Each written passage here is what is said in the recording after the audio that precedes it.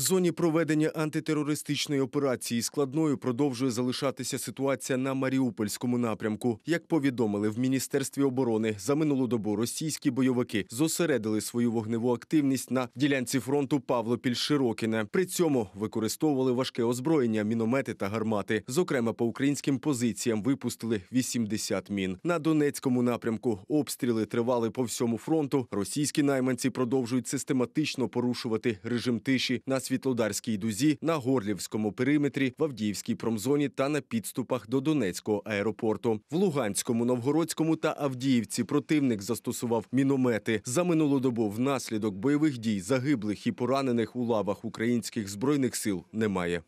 Українська розвідка встановила справжню причину приїзду так званого чергового російського гуманітарного конвою на окупований Донбас. Білі КАМАЗи вивезли з моргів Горлівки та Макіївки 40 трупів вбитих російських окупантів. Також з огляду на скрутне та безперспективне економічне становище на шахті Марія Глибока, це колишня назва імені Менжинського в окупованому Первомайську, бойовики ріжуть обладнання на металообрухт та доправляють в Росію.